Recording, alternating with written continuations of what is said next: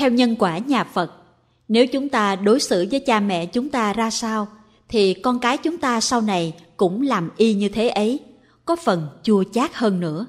Ân oán mà. Có câu danh ngôn, nếu ta bắn vào quá khứ một viên súng lục, thì tương lai sẽ trả lại ta một quả đại bác. Đôi giỏ ngu muội Người Nhật có câu chuyện cổ. Thổi xưa có một gia đình nông dân quê mùa, nhà có cha mẹ già nua. Ông nghĩ cha mẹ già rồi, cực thân không làm gì được, lại tốn của cải. Một hôm, ông đang hai cái giỏ chắc chắn để cha mẹ vào và gánh lên núi sâu để bỏ. Anh chuẩn bị một ít lương thực cho cha mẹ sống tạm. Trên vai lại gùi theo đứa con nhỏ. Đến nơi đặt cha mẹ xuống, anh không thấy lương thực mang theo đâu nữa. Anh hỏi cha mẹ có thấy không? Cha anh nói, cha đã bỏ trên đường đi rồi. Sao cha lại bỏ? Lấy gì mà ăn? Đường xa và lạ, cha sợ con bị lạc không biết đường về, nên bỏ rơi giải trên đường, con nương theo đó mà về nhà. Anh ta hết sức xúc động với tình của cha. Liền khi đó đứa con nhỏ bảo, cha nhớ mang hai cái giỏ về cho con. Con lấy hai cái giỏ làm gì? Để khi cha mẹ già, con mang bỏ lên non khỏi phải đan cái khác. Nghe đến đây, chàng trai quỳ xuống xin mẹ cha tha thứ và điệu cha mẹ về nhà sống một đời vui vẻ, hạnh phúc. Biện Minh Thầy có một người bạn ở Quảng Ngãi. Anh này thuộc dạng có chí. Anh thi vào trường Đại học Y Dược thành phố rớt 13 lần. Lần thứ 14 mới đậu. Nên bạn bè đặt cho anh cái biệt danh là Đại tá. Bởi vì cấp bậc quân đội từ binh nhất đến đại tá qua 13 cấp bậc. Binh nhì, binh nhất, hạ sĩ, trung sĩ, thượng sĩ, thiếu úy, trung úy, thượng úy, đại úy, thiếu tá, trung tá, thượng tá, đại tá. Anh học 6 năm đại học, học thêm chuyên khoa cấp 1 2 năm nữa. Tổng cộng 21 năm chưa về thăm nhà. Anh ra trường làm 5 năm nữa là 26 năm. Cha mẹ anh ngày nhớ đêm mong muốn anh về thăm quê một lần. Nhưng anh sĩ diện, bác sĩ mà bèo quá, sợ quê với xóm làng nên anh viết mấy câu thơ gửi về cho cha. Lâu lắm rồi không về thăm Quảng Ngãi, tuổi đôi mươi thoáng chốc dục qua rồi. Chuyện cơm áo tưởng chơi mà rắc rối, nhớ quê nghèo gia diết cũng đành thôi. Thật là xót xa cho một người con, chỉ biết tới mình, không hiểu được tâm tư tình cảm của cha mẹ mình. Như thế chưa đủ. Một bà cụ ở miền Tây có đứa con gái là Việt Kiều Mỹ. Mười năm rồi cô chưa về thăm mẹ. Thời gian thì càng ngày làm lưng mẹ còng thêm. Mỗi tháng cô gửi 100 đô về cho mẹ và một lá thơ. Nội dung y như nhau, chỉ thay đổi ngày tháng cho phù hợp. Chắc photo một bản, lúc đầu bà mẹ còn đọc, sau bà không đọc vì đã thuộc nằm lòng. Khi bà qua đời, cô gái vội bay về khóc lóc làm đám tang linh đình. Khi khui rương của mẹ, cô ngỡ ngàng. Bao nhiêu lá thơ còn nguyên chưa mở. Dĩ nhiên là tiền bà cũng chưa xài.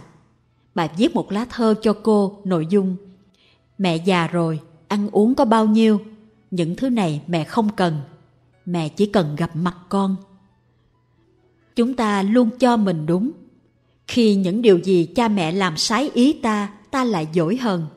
Có khi oán giận. Nhưng ta có bao giờ hiểu hết cha mẹ hay không?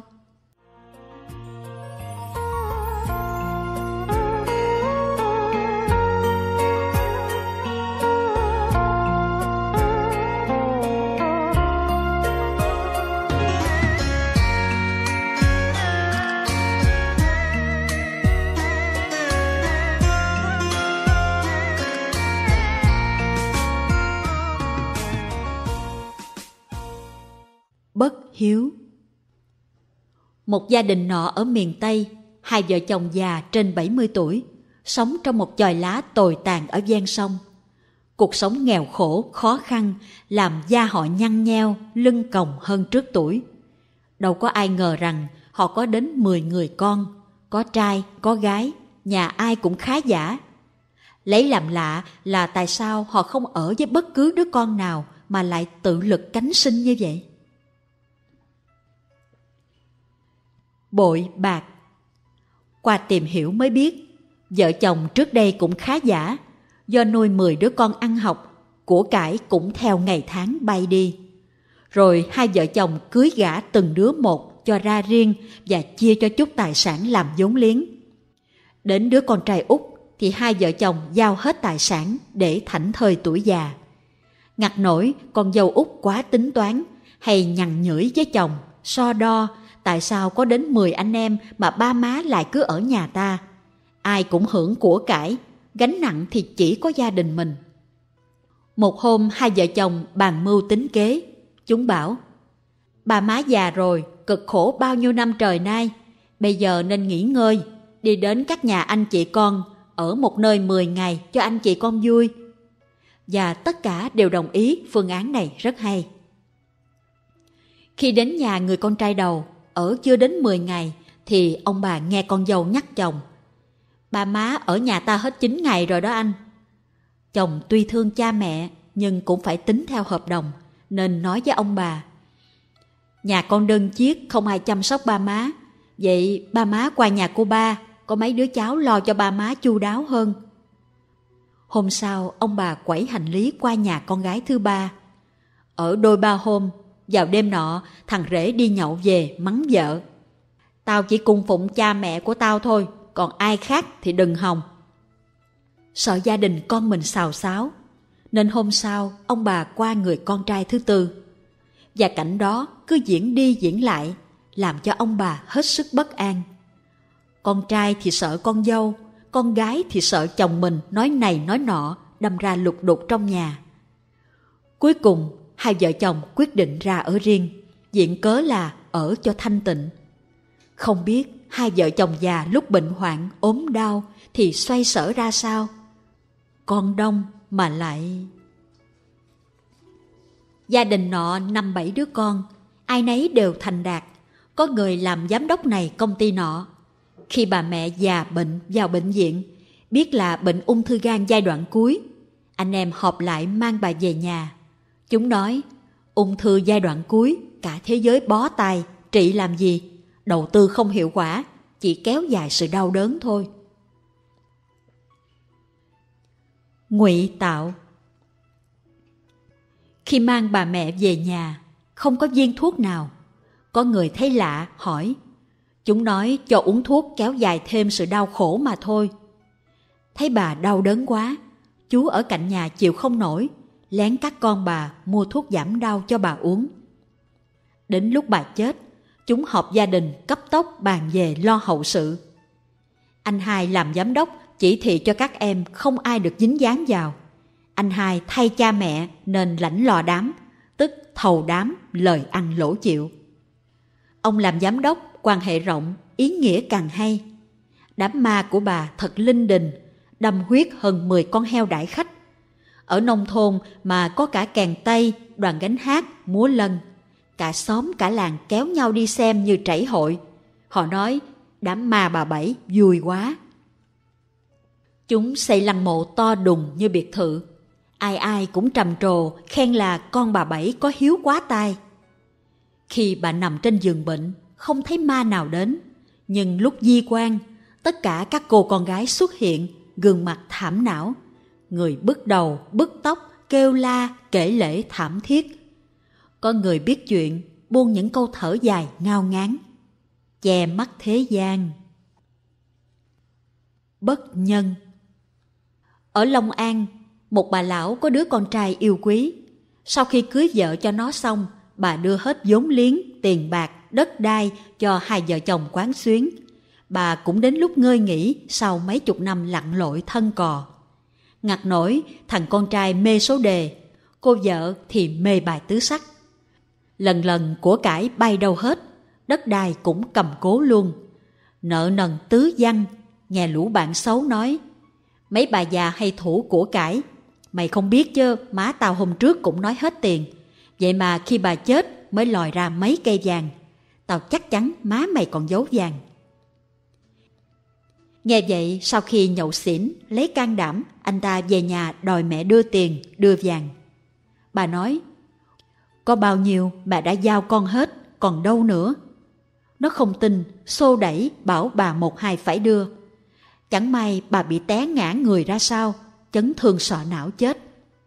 Anh ta đi ở tù, để lại cô vợ và hai đứa con nhỏ xíu, không tiền, không tài sản. Đua đòi Cô bé con nhà chẳng khá giả gì, học lớp 12, thấy bạn bè có xe mới, nào Attila, Way, còn mình thì chạy chiếc xe cúp 50 cũ mềm. Mẹ làm công nhân may, cha chạy xe ôm. Về đòi cha mẹ mua xe mới, cha hứa vào đại học thì cha sẽ mua. Vậy mà nó dùng dằn đòi nghỉ học cho con của ông dốt luôn. Nếu không mua xe cho tôi, tôi sẽ cho con ông chết luôn. Bà nó nói, cha không đủ tiền để vô chân hụi vài tháng đã. Nó không cần biết điều đó, nó chỉ biết đến xe mới cho bằng bạn bè mà thôi. Bà không đáp ứng, nó liền tự giận chết. Để lại bao đau thương cho cha mẹ, ấy nấy suốt đời vì lo không đầy đủ cho con. Con đâu biết, cha đã quá chất giả, thức khuya dậy sớm, kiếm từng đồng từng cắt. Có bao giờ ba mặc bộ quần áo đẹp chưa? Có bao giờ ba có đôi dép mới không? Con có biết, khi con ngon giấc say nồng, thì cha đang gác tay lên trán, lo xem ngày mai phải chở hàng cho những ai được bao nhiêu tiền. Ân hận muộn màng. Bình sa dương. Lòng cha mẹ là như vậy đó. Có khi những đứa con hiểu ra thì cha mẹ không còn nữa có tiếc thương có nuối tiếc cũng đã muộn màng vì cha mẹ chỉ có một mà thôi. Một câu chuyện cảm thương vào thời Đức Phật. Con của vua Tần Bà Sa La, tức Bình Sa Dương, là Thái tử A Xà Thế. Sau khi Đề Bà Đạt Đa đề nghị Đức Phật cho lãnh đạo giáo đoàn không thành công, ông quay qua dụ Thái tử A Xà Thế cướp ngôi vua cha để lợi dụng vào đó ông xây dựng quyền lực. Thái tử A Xà Thế nghe theo và cướp ngôi vua cha của mình. Kế hoạch bị bại lộ, tất cả đều bị bắt. Vua Tần Bà Sa La nói, con thích ngôi vua, sao không nói với cha? Cha sẵn sàng nhường ngôi lại cho con, sao con khờ vậy? Cái gì thuộc về cha, cha đều cho con hết mà. Nếu con thích ngai vàng như thế, thì cha sẽ nhường lại cho con. Nói vậy xong, ông chọn ngày nhường ngôi cho con và lễ đăng cơ đã diễn ra trong lời chúc tốt đẹp của quần thần. Đề bà Đạt Đa nói với A Xà Thế, như vậy cũng chưa chắc đâu, ông ta còn sống, có ngày ông ta lấy ngôi vua lại. Vua A Xà Thế tin theo và bắt cha mình giam vào ngục, không cho ăn uống, để ông chết lần chết mòn. Thấy cha lâu quá không chết, vua sai thợ cạo vào cắt gân cha để ông mau chết vua Tần Bà Sa La hết sức đau đớn, chỉ biết hướng về Đức Phật. Một hôm, vợ của vua A Xà Thế chuyển dạ, sanh được một hoàng tử. Vua hết sức vui mừng, khắp khởi. Một người cha có đứa con đầu lòng vui như đứa trẻ thơ, chạy đến cho mẹ hay tin cháu nội bà mới chào đời, khôi ngô tuấn tú. Vua nói, mẹ ơi mẹ, khi sanh con ra, cha của con lúc ấy như thế nào hả mẹ? Cha con có thương con như con thương con của con không mẹ? Con có biết không, khi con có mấy ngày tuổi, trên tay con có nổi một cái mục nhỏ xíu. Con đau đớn la khóc, cha phải thức cả đêm dỗ con. Sợ con đau, cha lấy miệng ngậm vào tay nổi mục đó. Và chẳng may, cái mục đó bể ra, nào nước vàng, nào máu mũ. Cha ghi chặt tay con vào và nuốt hết mũ máu vào bụng sợ nhả ra con bị đau. Nghe đến đây, vua A Xà Thế tỉnh ngộ.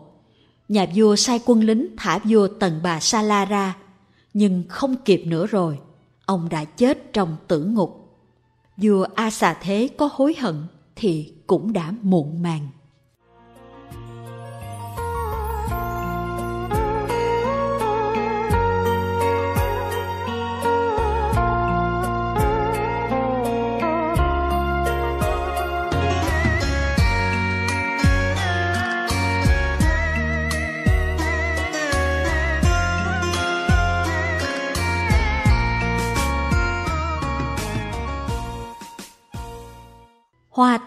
Cỏ lạ. Bà Sophia lần dò từng bước như một người mù. Từ ngày chồng bà qua đời, đứa con trai là niềm vui duy nhất của bà. Sophie vừa tốt nghiệp đại học ngành công nghệ thông tin. Anh đang xin việc, điều anh bận tâm là mẹ. Anh không thể để bà ở nhà một mình không ai chăm nom. Cặp kính cận đen Anh rất thương mẹ. Khi cha anh mất, bà chưa đầy ba mươi. Bà tần tảo nuôi anh ăn học, hy sinh cả quãng đời son trẻ. Biết bao người ngỏ lời, nhưng bà nhất quyết chối từ. Bà viện lý do lớn tuổi rồi. Nhưng Sophie hiểu mẹ mình hơn ai hết. Vì anh mà mẹ không tái giá. Bà sợ cảnh cha ghẻ mẹ gì làm ảnh hưởng đến sự học tập và tương lai của con. Đôi mắt bà mỗi ngày một mờ đi. Bác sĩ nói bà bị viêm giác mạc. Lấy thuốc uống bớt rồi ngưng. Bà tiếp tục tảo tần, mua thúng bán bưng, chạy dạy tiền nuôi con. Nào tiền học phí ở trường, học thêm anh văn, vi tính, nào tiền tập dở, áo quần, điện nước, cũng đủ cho bà mệt lã. Cực nhưng bà vui vì con bà ngoan, học giỏi, không hút thuốc hay rượu chè như bao thanh niên khác. Ngoài giờ học, anh về nhà giúp mẹ mọi việc. Có khi bắt nồi cơm, có khi quét nhà, giặt giũ, sửa sang trong ngoài để mẹ đỡ cực hơn. Anh nghĩ cả đời mẹ vì mình, nếu mình không học tập tốt thì không xứng đáng. Anh thường tranh thủ đến chùa, khi thì bó hoa tươi, khi thì bọc trái cây dâng lên cúng Phật, cầu nguyện cho mẹ mạnh khỏe, sống đời bên anh để anh có thời gian báo đáp công ơn cù lao của mẹ. Đôi mắt bà Sophia càng ngày càng mờ. Khi anh học đại học năm thứ hai thì bà hoàn toàn không nhìn thấy nữa. Bác sĩ bảo giác mạc của bà đã bị tổn thương nặng, không thể phục hồi. Chỉ có cách duy nhất là thay võng mạc. Giá thị trường hiện nay là 4.800 đô. Anh chỉ còn biết đưa mẹ về nhà. Anh hứa với lòng khi nào anh làm có tiền, điều đầu tiên là đi thay giác mạc mắt cho mẹ. Bà Sophia không thấy đường nên không thể mua bán được nữa. Bà chỉ làm những việc giặt giảnh và tựa cửa đợi con đi học về. Có lúc bà tự bắt cơm, có lần suýt cháy nhà. Sophie vừa đi học vừa làm thêm, dạy kèm. Anh làm đủ nghề miễn sao kiếm ra tiền. Cuối cùng anh cũng tốt nghiệp đại học với mảnh bằng loại khá. Thời gian này anh dành dụm được ít tiền vì không phải đóng tiền học và sách vở nữa. Nếu anh đi làm, dĩ nhiên phải đi công tác. Những lúc ấy ai chăm sóc mẹ? Nên anh quyết định giá nào cũng phải thay giác mạc mắt cho mẹ. Thứ nhất, để mẹ nhìn thấy. Thứ hai, anh đi làm cũng an tâm. Mẹ anh chỉ hơn 50 tuổi, chẳng lẽ sống trong cảnh mù lòa cả đời. Anh liên hệ với bệnh viện, họ hẹn ngày thay giác mạc cho mẹ. Bà Sophia bảo, Con à, tiền đâu con có để thay giác mạc cho mẹ chứ? Anh nhìn bà với tất cả tấm lòng xót xa của một người con hiếu thảo. Bạn bè cho con mượn đỡ, khi con đi làm sẽ trả góp cho chúng sao? Mỗi tháng trích ra một ít, mẹ an tâm đi. Con bây giờ là kỹ sư rồi, mai mốt có việc làm, không mấy chốc trả hết thôi mẹ à. Bà Sophia miễn cưỡng đi phẫu thuật. Ca phẫu thuật rất thành công. Bà ao ước được nhìn mặt con. Cả ba bốn năm nay bà không nhìn thấy con, chỉ nghe giọng nó nói. Trước đó mắt bà mờ cũng không nhìn con được rõ. Các cô y tá tận tình chăm sóc cho bà. Trên mắt bà bịt kính mảnh băng trắng. Ngày thứ ba Sophie mới vào. Bà hỏi, mấy ngày nay con đi đâu, không đến chăm sóc mẹ? Anh ngập ngừng. Dạ, mẹ mới mổ phải ở phòng cách ly, chỉ có y tá và bác sĩ chăm sóc thôi mẹ à. Con chỉ được ở bên ngoài thôi. Bà dịu dàng nắm lấy tay Sophie. Mẹ cảm ơn con đã làm phẫu thuật cho mẹ. Mẹ mong ngày nhìn thấy mặt con, thấy bầu trời cao rộng. Mẹ ước ao nhìn thấy con thành đạt, cưới được cô vợ ngoan hiền. Mẹ mong có đứa cháu nội bồng ẩm cho đỡ quạnh hiu. Anh cầm tay mẹ. Mẹ cứ an tâm, con sẽ lấy vợ và sanh con cho mẹ nuôi. Sợ đến lúc đó mẹ nuôi không nổi mà thôi. Bà mẹ mỉm cười trong hạnh phúc. Bà nghĩ thầm, rồi sẽ có ngày ấy. Một tuần rồi hai tuần, sắp đến giờ tháo băng trên mắt của bà Sophia. Bà hồi hộp chờ đợi, mong đến lúc được nhìn thấy cuộc đời trở lại. Bác sĩ tháo băng, lau những vết bẩn quanh mắt bà. Nào, bây giờ bà hãy mở mắt từ từ. Khẽ thôi, nào. Bà Sophia vừa mở mắt, một luồng ánh sáng chói chang đập thẳng vào mắt. Bà nhắm mắt lại, nước mắt chảy ra. Bà chớp chớp mắt, rồi từ từ mở ra. Bà hết sức vui mừng, bà đã nhìn thấy rõ ràng, không bị mờ như trước đây. Bà rất hạnh phúc. Bà nhìn Sophie, anh mang cặp mắt kính màu đen. Bà trách yêu con. Trong nhà con mang kính mát làm gì? Sophie lúng túng. Dạ, kính cận đó mẹ. Bà Sophia mỉm cười. Kính cận gì mà màu đen? Mẹ không biết đó thôi, bây giờ công nghệ mới, họ chế kính cận màu đen để khi ra đường không cần mang kính mát. Sophie đến dìu mẹ xuống giường và làm thủ tục xuất viện. Mẹ à, ba ngày nữa con sẽ đi làm, công ty đã có giấy gọi. Bà mẹ vui mừng, cuối cùng bà đã thực hiện được ước mơ là nuôi con ăn học thành tài. Niềm vui nữa là mắt bà đã sáng lại, có thể tự chăm sóc cho mình. Đúng là lưỡng toàn kỳ mỹ. Sáng sớm, Sophie chuẩn bị áo quần tươm tất cho ngày đi làm đầu tiên. Bà Sophia lấy tay chỉnh lại cổ áo và chiếc cà vạt cho anh.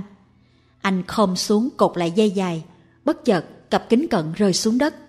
Bà Sophia vội nhặt đưa lên định đeo lại cho anh. Bà bàng hoàng khi nhìn thấy mắt bên trái của anh một màu trắng toát. Bà hiểu tất cả, ôm anh vào lòng khóc nức nở, nói trong giọng ngẹn ngào. Sao con dại thế? Tiếng chuông chùa nào bay trong gió thoảng, nước mùa thu trong vắt in trời. Mùa lễ Vu Lan đã về. Sophie ngập tràn hạnh phúc trong vòng tay của mẹ. Anh rất hạnh phúc và hạnh phúc lớn lao nhất là mùa Vu Lan này anh được cài lên ngực một bông hồng. Dĩ nhiên không phải màu trắng, bởi anh rất sợ màu trắng vì nó giống màu trong mắt trái của anh. Một buổi sáng nọ, thầy được quý thầy lớn bảo lên tháp cốt cúng an vị cho một hương linh gửi cốt vào chùa. Lên đến nơi, thầy thấy một bà cụ ngoài 70, gầy gò, gương mặt khắc khổ. Bao nhiêu vết chân chim đã hằn lên cuộc đời của bà. Lẻo đẻo theo sau là hai đứa nhỏ xíu, có lẽ là anh em. Mồ côi Đứa bé gái khoảng 3 tuổi, thằng anh trai khoảng 5 tuổi. Cả hai đứa đều mặc đồ khăn tang trắng, rộng thùng thình, nhưng trông sạch sẽ, dễ thương. Được biết hai đứa bé là con của một người đàn bà chưa quá 30 tuổi, hình được dán trên hũ đựng cốt. Bé gái quỳ phía trước, anh trai quỳ phía sau. Đôi mắt nó láo liên, hình như tất cả đều lạ lẫm với nó. Thầy dặn, cứ mỗi tiếng chuông là lại một cái nghe các con. Chúng quay qua gật đầu. Thầy tụng kinh dứt câu đánh cái ben thì đứa nhỏ lạy xuống chổng mông lên, đầu chúi xuống đất nhìn anh nó phía sau kêu ý ới. Thầy nhắc nhở đôi ba lần nó mới chịu ngồi yên. Lâu lâu bé gái quay qua bên bà cụ. Ngoại ơi, mẹ con đâu rồi hả ngoại? Bà cụ trả lời cho qua chuyện. Ở trong hũ chứ ở đâu? Mẹ ở trong hũ làm gì ngoại? Ờ thì ngủ chứ làm gì nữa. Cái hũ nhỏ xíu sao mẹ con vào được ngoại? Bà lão cũng bất ngờ trước câu hỏi của đứa cháu dại khờ. Bà phớt lờ đi, ra hiệu là coi chừng bị thầy la, trật tự nào. Khi tụng kinh xong, thầy đi lui trái cây trên bàn thờ Phật để trang hoàng lại. Thầy thấy hai đứa bé cứ nhìn chầm chầm vào rổ trái cây thầy vừa hạ xuống. Định chúng nó do thiếu thốn nên thèm, tội nghiệp. Rồi thầy sợ chúng nó thấy thầy sơ hở, ăn cắp trái cây, vô tình mà gây tội với chùa chiền. Nên thầy lựa hai trái lê bị úng một lỗ, đưa cho mỗi đứa một trái và không quên dặn chúng rửa sạch trước khi ăn. Rồi thầy tiếp tục công việc, hai đứa bé ra về lúc nào thầy cũng không hay biết. Đến khi thầy dọn dẹp trước bàn thờ vong, thấy lạ, chỗ hũ cốt nào cũng có một dĩa trái cây và bình hoa, Riêng có một hũ cốt chỉ đặt trên cái bọc xốp hai trái lê. Thầy đến lật lên, thấy mỗi trái úng một lỗ. Thầy nhìn kỹ lại, thấy sững sờ. Hũ cốt ấy là hũ cốt của mẹ hai đứa bé. Chắc không có tiền hay vội quá mà ngoại nó chẳng mua thứ gì vào cúng mẹ nó. Chỉ có một mâm cơm chay cúng dông của chùa, dĩa rau nhạt với vài miếng tàu hũ. Hai đứa bé nhỏ xíu đã nhường hai trái lê thầy cho để cúng mẹ nó. Thầy cảm thấy hối hận vô cùng khi nghĩ sai về hai đứa bé và đã cho nó hai trái lê héo và bị úng một lỗ và nó đã khéo léo đặt lỗ thủng xuống phía dưới để người ta không nhìn thấy. Hồi nhỏ bằng hai cháu ấy, thầy chỉ biết lo cho bản thân và khóc nhè với mẹ thôi. Lớn lên cũng vậy, chưa bao giờ có đồ ăn ngon lại nhớ đến cha mẹ của mình. Thật xấu hổ. Hai đứa bé nhỏ xíu đã dạy cho thầy bài học lớn. Hôm sau, thầy mang hai bịch kẹo sữa, định bụng là khi hai bé vào cúng mẹ, thầy sẽ bù đắp lại. Nhưng đợi mãi không thấy hai bé vào. Một hôm bà cụ vào cúng con gái, thầy mới hỏi hai cháu đâu. Bà cụ có vẻ ngượng ngùng hồi lâu rồi nói trong hai hàng nước mắt. Tội nghiệp, mấy năm trước cha nó bị tai nạn giao thông, rồi vừa qua mẹ nó bị ung thư mà chết, để lại hai đứa còn quá nhỏ. Tôi già, một thân một mình bán vé số kiếm cơm qua ngày, làm sao nuôi nổi hai cháu. Bà ngừng lại và khóc. Mẹ nó gửi tôi nuôi, nhưng tội lắm thầy ơi. Tôi đành đưa hai cháu vào trại mồ côi rồi. Khổ thân hai cháu, không cha mẹ, không ai lo. Không biết tụi nó sống ra sao trong những ngày sắp tới. Bị đòn Ngày xưa ở bên Trung Quốc có gia đình nọ có người con trai. Anh này rất nghịch ngợm, từ thuở nhỏ đã bị mẹ đánh thường xuyên thành thói quen. Đánh riết rồi anh ta lì đòn. Mỗi khi mẹ đánh không bao giờ anh khóc cả. Những ngày nào anh không bị mẹ đánh là anh lo lắng không biết mẹ có bị làm sao không mà không đánh đòn mình. Thời gian trôi nhanh, mẹ anh càng ngày càng già. Anh quyết ở dậy không lập gia đình để thủ hiếu với mẹ. Một hôm, mẹ anh không bằng lòng với anh điều gì đó. Bà bắt anh cúi xuống đánh một hơi Mẹ đánh xong, anh ngồi dậy khóc nức nở. Lấy làm lạ, bà mẹ hỏi. Còn bị oan ức hay đau lắm sao mà khóc? Bấy lâu nay có bao giờ mẹ đánh con khóc đâu. Thưa mẹ, mẹ đánh con càng đau, con lại càng mừng, càng vui ạ. À. Anh trả lời. Bà mẹ ngạc nhiên hỏi tiếp, vậy sao hôm nay con khóc? Thưa mẹ, vì hôm nay mẹ đánh con quá nhẹ, không đau chút nào. Do đó con biết mẹ đã già rồi, không đủ sức đánh con nữa, nên con buồn, con khóc. Từ đó về sau, bà mẹ không còn đạo. Đạo hiếu Dẫu ta đi trọn kiếp người, vẫn không đi hết những lời mẹ ru. Ầu ơ, mẹ già khuất bóng ngàn thu, nhân trung hiếu đạo, nguyện tu đáp đền. Không phải người con có hiếu là cho tiền bạc cha mẹ xài thoải mái, cung cấp đầy đủ hàng tháng, bỏ cha mẹ cô quạnh tuổi già. Không phải cha mẹ mất đi, ta làm đám tang to lớn, làm thịt nhiều con vật để cha mẹ thắt thêm oan nghiệp. Không phải xây nhà mồ cho to lớn để tiến tâm lại đời, mà chính trong hiện tại đời sống này phải biết đỡ đần, tôn kính, thương yêu cha mẹ, phụng dưỡng cha mẹ khi già yếu ốm đau, càng ngăn cha mẹ làm những điều ác tạo điều kiện cho cha mẹ biết đến Phật Pháp và bố thí cúng dường tạo phước. Khi cha mẹ mất, biết làm những hạnh lành để hồi hướng phước báo cho cha mẹ. Đặc biệt, biết tu hành hướng tâm vào dòng thánh để có cơ hội cứu cha mẹ nhiều đời nhiều kiếp đang bị trầm luân. Nhân quả thiện ác Việc làm thiện là làm lợi ích cho người khác cho họ được an vui. Ngược lại, làm đau khổ cho kẻ khác, khiến cho kẻ khác phiền não là việc ác. Theo nhân quả, chúng ta làm ác sẽ thọ quả báo đau khổ. hành thiện sẽ thọ quả báo an vui. Đối với những người con như chúng ta, khi biết được công lao trời biển của cha mẹ như vậy mà vẫn tiếp tục làm đau khổ cho cha mẹ, tiếp tục con đường ác, đó là tội bất hiếu. Hậu quả sẽ thọ quả báo đau khổ, thất bại và con cháu sau này sẽ xử tệ bạc với ta hơn cả việc ta đã đối xử tệ bạc với cha mẹ mình. Cha mẹ đã hết mực thương yêu, lo lắng, hy sinh cho ta cả đời mà không cần sự báo đáp hay đòi hỏi chúng ta phải trả công.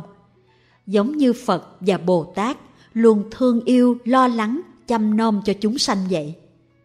Trong kinh Trung Bộ nói rằng, ba đời của chư Phật sinh ra không ngoài hai mục đích, cứu khổ và ban vui cho chúng sanh.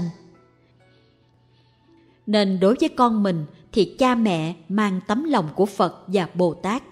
Vì lý do đó, Đức Phật mới nói cha mẹ là Phật tại gia, là cửa chùa cho con bước vào dòng thánh.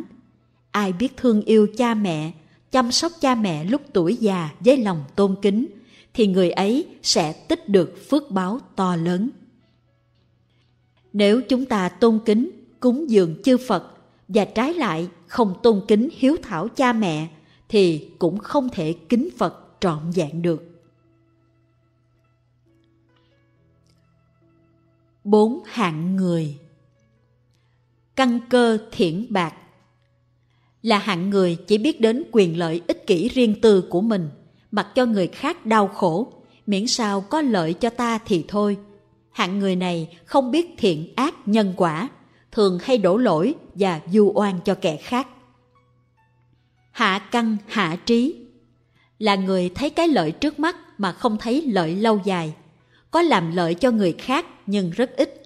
Có biết đến nhân quả thiện ác nhưng vẫn chiều theo bản năng làm điều sái quấy. Đôi khi đổ lỗi cho người rồi sau đó biết sợ mà ăn năn nhưng lại phạm sai lầm khi có quyền lợi trước mắt trung căn trung trí là người biết lo xa một chút sống hôm nay nghĩ đến họa phúc của ngày mai. Người này rất hiểu nhân quả thiện ác, không dám làm sai quấy, thường hay sám hối ăn năn lỗi lầm. Phát tâm giúp đỡ người khác, biết thương yêu và chia sẻ với thế giới xung quanh. Người này hay gánh giác và nhận trách nhiệm về cho mình, biết chịu đựng hy sinh cho người khác. Thượng căn, thượng trí Người này có cái nhìn xa trông rộng, quan sát mọi góc độ, chẳng những biết sống tốt hôm nay mà có cả cái nhìn thấu suốt những kiếp về sau, nên người này biết phân định nặng nhẹ một cách bền vững và lâu dài. Có tâm rộng lớn thương yêu chúng sanh với lòng từ bi, rộng lượng, luôn tha thứ khoan dung cho người khác, tâm không cố chấp hẹp hòi, không đổ lỗi cho ai cả. Thấy cái nào có lợi ích chung về lâu dài, bền vững thì làm. Ba cách báo hiếu. Loại căn cơ thiển bạc không thể có hiếu với cha mẹ. Nếu nghiệp ác và oan trái nhiều, sẽ sanh tâm bất hiếu, làm cho cha mẹ khổ đau. Người căn cơ thiển bạc có chút duyên lành với phật pháp hay gặp bậc minh sư, hướng tâm quy y tam bảo, sám hối tội xưa, sẽ trở thành người hạ căn, hạ trí. Chúng ta biết tấm lòng, công lao và nỗi nhọc nhằn của cha mẹ như thế nếu là người có trí thì sẽ báo hiếu cha mẹ trong tình thương yêu và tôn kính. Hiếu kính Người này cảm nhớ công ơn cha mẹ đã nặng nhọc 9 tháng cưu mang, 3 năm ẩm bồng, nên phát tâm đỡ đần lại cha mẹ, lo cho cha mẹ miếng ăn giấc ngủ, thuốc thang lúc đau ốm tuổi già, nhất nhất nghe lời cha mẹ dạy bảo, không dám trái ý. Tôn kính và phụng thờ cha mẹ như Phật Bồ Tát. Hiếu thuận là người có lòng hiếu kính, biết quy y tam bảo, bỏ ác làm lành, hồi hướng công đức, phước đức cho cha mẹ, biết can ngăn cha mẹ những việc làm sai chánh pháp, đặc biệt hướng cha mẹ quy y tam bảo trở về đời sống đạo đức. Đại hiếu là người con hiếu thuận, phát tâm vô thượng bồ đề, bản thân nỗ lực tu hành và phát tâm rộng độ chúng sanh – người này có chí hướng xuất gia vượt ngoài tam giới, tự mình đắc đạo để trang nghiêm Phật Pháp và độ cho cha mẹ nhiều đời, phát tâm vô thượng Bồ Đề, hướng đến quả giải thoát giác ngộ. Đức Phật Gương Đại Hiếu Đức Phật Thích Ca khi rời bỏ Hoàng Cung, để lại cha già ngày đêm mong nhớ thương con, và bà mẹ xem Ngài như là con ruột, đó là bà mẹ kế Mahabasa Ba Đề. Sau khi đắc quả chánh đẳng chánh giác, Đức Phật Thích Ca trong một kỳ hạ, Ngài đã lên cung trời đao lợi thuyết pháp để độ mẹ của Ngài là Hoàng hậu Maya. Ngài về thành ca tỳ la vệ độ cho các dương tôn trong hoàng tộc xuất gia và các hoàng thân quốc thích quy y tam bảo. Đặc biệt, Phật độ vua tịnh phạn trước lúc băng hà ngộ được chân lý Phật Đà. Phật khuyên vua cha nên niệm Phật và đức vua đã nhập vào dòng thánh. Chính giai Đức Phật đã đỡ kim quan của vua cha đến nơi làm lễ trà tỳ. Ở thành Tỳ Xá Ly, Phật đã chấp nhận cho mẹ kế cũng là dì ruột cùng 500 thể nữ xuất gia và bà đã đắc quả A-la-hán. Mục Kiền Liên Vị đệ tử đệ nhất thần thông của Đức Phật là Ngài Mục Kiền Liên. Sau khi đắc quả A-la-hán, được lục thông, Ngài liền nhớ đến mẹ mình. Ngài dùng thiên nhãn tìm mẹ khắp sáu nẻo luân hồi, gặp mẹ Ngài bị đọa đầy nơi địa ngục rất khổ sở. Ngài đã dùng thần lực cứu mẹ nhưng không được, nên Ngài hóa ra cơm cho mẹ ăn đỡ đói. Nhưng vì nghiệp ác nặng nề, cơm vừa đến miệng lại hóa thành lửa không thể dùng. Thương mẹ, Ngài về bạch với Đức Phật cách cứu mẹ để trả hiếu. Nhân đó, Đức Phật thuyết kinh Du Lan Bồn, dạy cách cứu khổ cho những người bị đọa lạc.